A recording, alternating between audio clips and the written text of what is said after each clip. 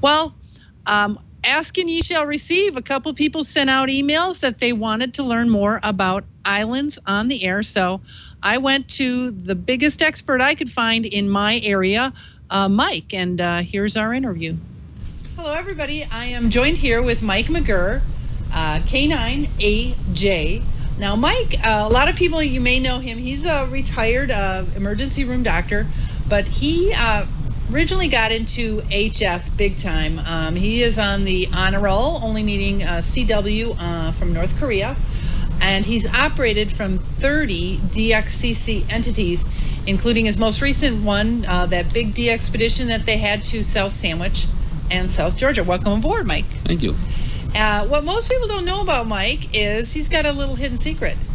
He's a big IOTA guy, right? I didn't think it was a big secret.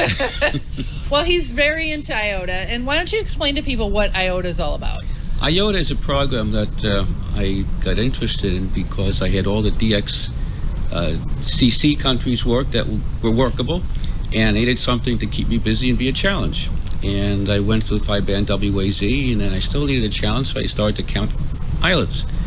And I actually went through all my cards, and I had a couple of shoe boxes of cards, and I wound up with 750 or so many IOTA counters. I said, wow, that's really neat. So I started chasing islands. So, what is an IOTA for those that don't know? Uh, an IOTA is a island or a group of islands that's designated by the uh, RSGB IOTA program uh, as being a counter, and they assign a continent dash a number for each island or island group, and you collect them as, as you would DXCC countries. Now, um, I used to live on a lake, and there was a little island in the middle of our lake. Would that count as an island on the air? If it's a freshwater lake, uh, something like the Great Lakes or something like that, or even smaller, probably no. Um, uh, generally, the islands we're talking about have salt water around them, or it has to have at least, salt at least brackish sort of salt water. Brackish means that the, the fresh water is mixing with, the salt salt water. water, yeah. So, um, but when in doubt, where can they go to figure out if it's an IOTA? We have The Bible? the Bible. This is the Bible. It's the IOTA directory. It has everything you ever want to know about working islands, activating islands, and getting credit for islands. Where they are, that has has uh, latitude, longitude for virtually every IOTA uh, island uh, that's been established. And you can get this. I, I got this at the RSGB booth at Dayton last year, but you can. It's on the ARRL uh, bookstore. You can go there and you can find it. If you chase IOTA, this is absolutely necessary. Now, how many islands on the air are there? There are under, somewhat under 1,200. Um, not all those have been activated yet. Um, I think the highest scores that I've seen is like um, 1120 or 1130 or something in that neighborhood. That, that That's the people who have worked the most that have been worked. Now, I know there was a lot of people that really got into the national parks on the air and activating these national parks. So, if they're looking for something to do, how hard would it be for them to go and activate an island? Uh, a lot of the islands are very easy to activate. A lot of the islands you can drive over bridges uh, to uh, along the east coast and Florida. You can you don't even have to get your feet wet. And you just use your regular call? You just use your call, and if you if you uh, think about uh, you want to generate some activity, you can put something out on one of the IOTA reflectors.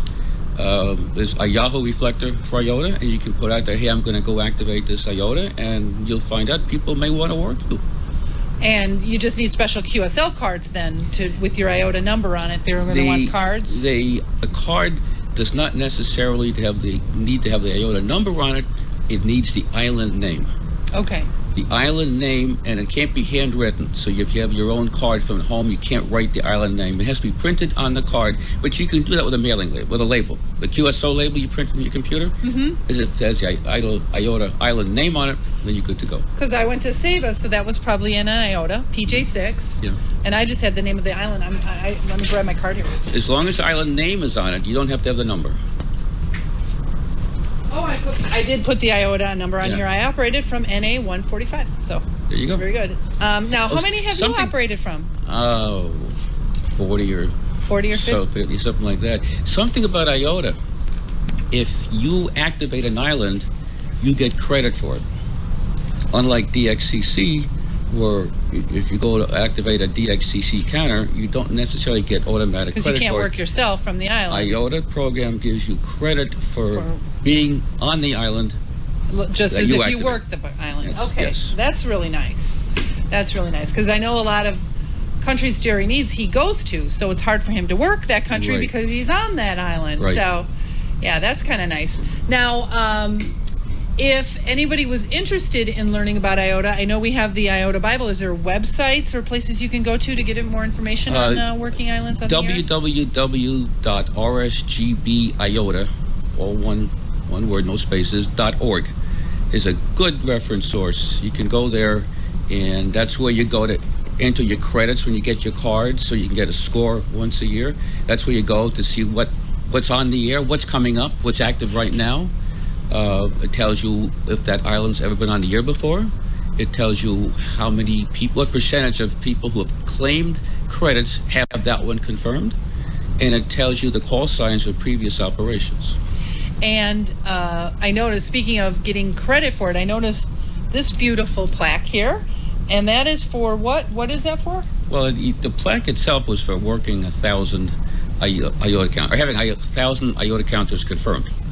But then I have some endorsement plaques on it, so I act, this is actually my 1100 um, trophy.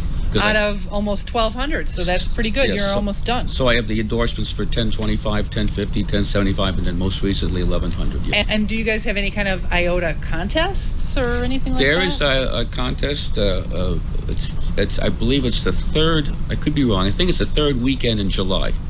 And the nice thing about that is, assuming the station that you work, the IOTA that you worked, sends its login to the RSGB, you can get automatic credit for that without having to get a card Oh. for your for your honor roll and your listing. And I notice I, I use DX World a lot, and I notice he posts a lot about IOTA on there as well. Is that a good place to look to? It is a good place. Uh, uh, if it's a really uh, um, breaking news, Carl usually has it on the front page. If you want to know what's going on in IOTA, uh, click the IOTA uh, uh, key on, on the website, and you'll go there and it'll tell you the news of all the IOTA stuff that's on. And I see there's even an interactive map you can get on uh, qrzcq.com slash page slash IOTA map. And um, now, for tracking IOTA, I mean, it's a lot more than DXCC. I mean, almost 1,200 of them. Uh, does typical logging software allow for tracking of IOTA, what most you need and what you have? Most all commonly used uh, uh, uh, um, ham software, logging software has it. Now, now, now the the uh, the contest one like like um, M N1MM, um, that's strictly a, a logging program. But all the other management like programs, DX Labs, Suite, yeah, maybe yeah, Ham Radio Deluxe. that all have IOTA. Okay, yes. perfect. Uh, any anything else? Any final words? Anything I'm missing here? Um, it's a lot of fun. It's a lot of fun. I when I was when I was a, a young ham, uh, a young DXer, we used to get one ringers. One ringer is, is when I know. I heard about these. you hear a one ringer and the phone rings once and they hang up and you run down and you get on a two meter repeater and they tell you, hey Mike, go so and so and so and so and so and so. Well, I missed that. Because there was no cluster. I that was your cluster. Uh, was our class, and I missed that. And and now what happens? I get phone calls again from my IOTA buddies and say, "Hey, he's on so and so," and it's like it's like the old times. It really, it's it's like the old days. You got, and in fact, they don't give a ring. They just call you up and say, "Hey, Mike, get on the air." Do they do they spot them on the cluster? They may spot them on the cluster and give the IOTA oh yeah, number. they're spotted. They're spotted. So if, if you have that, then you, if you scroll down the comment uh, section, Yeah, you'll pick it you'll up. find them. Especially if you're looking for Be It'd be nice if they just had a cluster for IOTA. So, Well, well, one day. won't work. Well, thanks so much for joining us and kind of clearing things up on IOTA. And hopefully, for all of you that have the hole in your heart now that NPOTA's over, you can go activate some islands on the air. My pleasure. Thanks.